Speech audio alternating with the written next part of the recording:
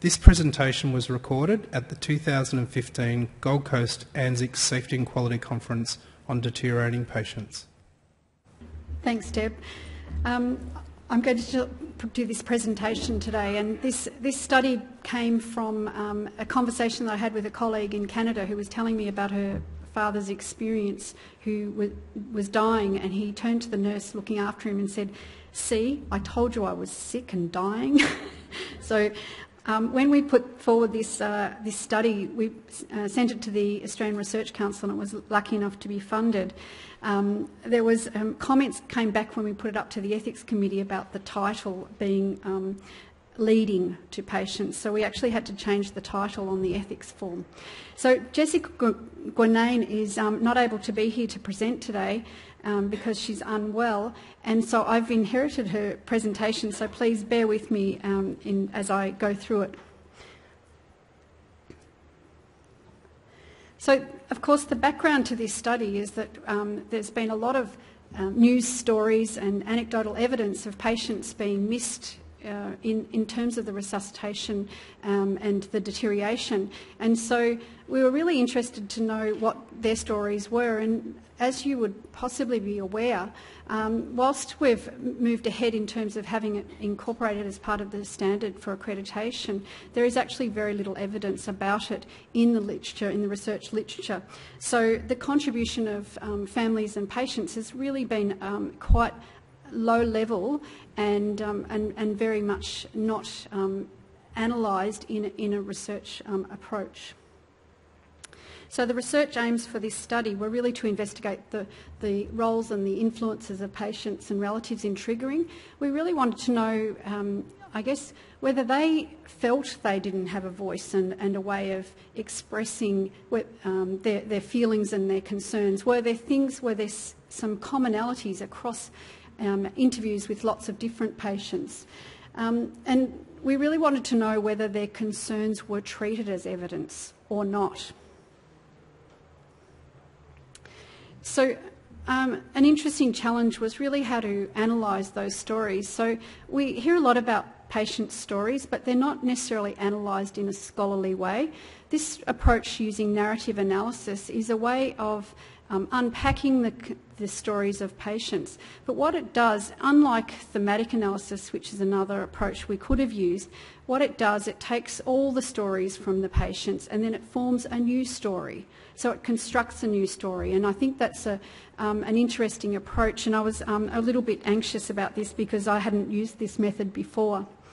Um, essentially, you still interview the patients and families, but you don't um, offer them, it's not a structured interview, it's off, you have a, an exploration of what happened to them. And in, when people tell stories, they tell them in a very messy way. Even when you hear presenters, they tell stories in messy ways. They jump between things and they have interruptions and then they go back and say, oh, I forgot to tell you this and so forth. So you have to really, when you put that construction through, through together, it, it, looks, it starts off looking quite messy. So we also look at the medical records to see if we can get some sort of timeline associated with their deterioration over what, what actually happened to them. So we actually interviewed patients and families from both private and public hospitals, one of each. And so we were wondering if there was going to be a difference in the way families and patients approached things. Um, there was a number of inclusion and exclusion criteria. Clearly, someone had to be able to articulate a story. Um, we didn't have the funding for non-English speaking backgrounds, but if a family member could uh, do the translation and, and speak with us, then we could actually um, incorporate their stories. And obviously cognitive impairment was a, one we had to exclude them on. So we actually interviewed um, 47 different participants. We had 33 members of um, patient family, sorry, we had 33 patients and 14 family members. Uh, there were six different constructions that came out of the, of the study. The first one was about voicing concern. And so rather than people talking about physical signs and symptoms, they often just talked about um, you know that they felt they felt unwell. They felt they did have pain but they really just they didn't recognize it as clinical deterioration. It was a, a, just a general feeling. Um, the relatives typically recognised the difference that they looked unwell. And it wasn't, they couldn't also articulate what the level of physiological deterioration was, but they just weren't themselves. Was it quite a common way of um, talking about it? So in each box, I've got tried to capture a couple of examples of some of the quotes that were taken from the patients. So, um, and the families. So, you know, shocking, shocking. I was feeling, I was freezing cold. I kept telling them I was freezing cold and really shivering like I felt like I was in the Antarctic. So you can see it wasn't really anything, you know, we would translate that into something physiological, but patients didn't see that. They just knew they didn't feel right. Another one was about identifying the deterioration. So both patient groups acknowledged that it was the nurses who detected the changes. Um, the relatives sometimes um, identified and articulated that something wasn't right. And if relatives triggered the escalation, they were asked to leave the room, which I found really interesting. So, um, and I think it would be different if we'd actually looked at a paediatric area where you'd probably incorporate the, the family and the mother and parents and so forth in, in it. So I think this is very much um, looking at the adult story. Um, again, I was just feeling lightheaded. The nurse came in and said something to me. I didn't sort of catch it. And she said, I better take your blood pressure. She took my blood pressure, and then the people from over there, uh, from over the way here, came in, met. So you can see, um, you know, it sort of just goes out of their control. They actually are, sometimes are just unaware of what's going on. In terms of communication, uh, the families were often um, quite satisfied with the communication, which is really good to know. Um, they were satisfied, um, but during the period of deterioration, the private patients it really felt that they weren't well enough to express the deterioration, so they didn't feel that uh, the patient and family activation, the escalation system was going to be of use to them because they didn't know when they were that sick and they felt that it was really the clinical um, staff's responsibility to do the activation and that they would know when to do the activation. Um, public patients had much more of a dialogue with the clinical staff. They tended to um, express um, some some of their, um, you know, their, what they were feeling. They would then go into, you know, sometimes they would know that say that they, the nurse would acknowledge that their blood pressure had dropped or something, and the, the, the the public patients actually knew what the trigger points were, which was really interesting. Um, but they often felt dissatisfied that they were then waiting for the results, and they actually felt that the the Met came and they just got onto things straight away, so they didn't have to wait with the Met. Whereas the home unit, they felt like there was a lot of delay. So that's interesting to use it as a get something happening. So the clinical response um, by, in terms of the nurses, uh, they were very much in the public hospital system, the patients felt that they really followed a very strict protocol. The nurses, they attended to, they took their observations and they would say to the patients what was going on and then they would just escalate on the, on the basis of that protocol.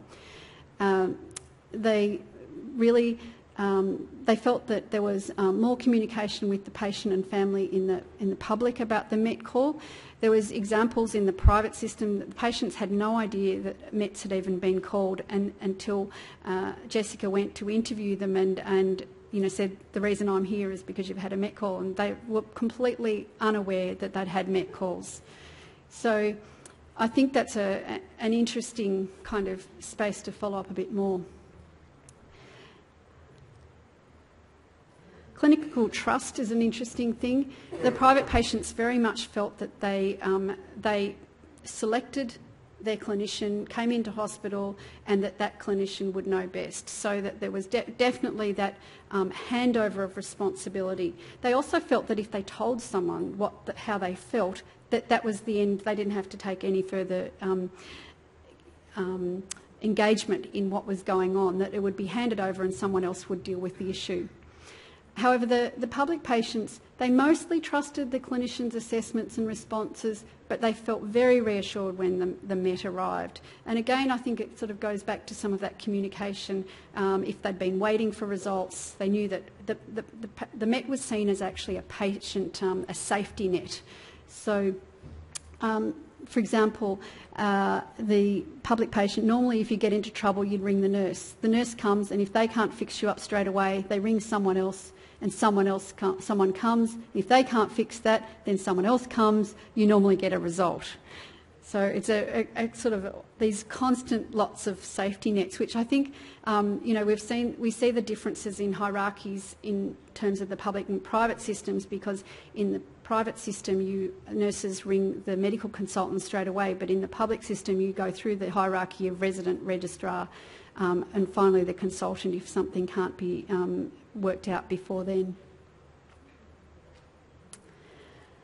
Um, in the Met awareness, the private patients were not aware of a, the Met um, and the reasons um, for the review. They, they um, had just no idea when uh, Jessica would go into the, that they'd had, had METs, which I think is really interesting. The, private the public patients knew about MET they also knew the reason for it. They were familiar with the escalation language.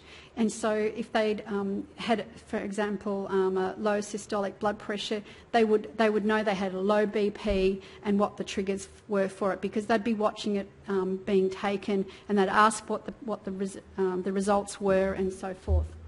So they seemed to be uh, more engaged, whereas the, the private patients seemed to hand over that responsibility. Um, an example is it wasn't until a few days later in this room I heard that Met call and I thought, what's that? And I looked it up on the internet and thought, oh, that happened to me. I think that's a good quote. Um, and you can see on this one, this quote too talks about hitting the trigger. I think it was about 120, but don't quote me. You know, so they've got a real sense of what are the things that would actually make a, uh, a difference in terms of um, their physiological status and when they needed help.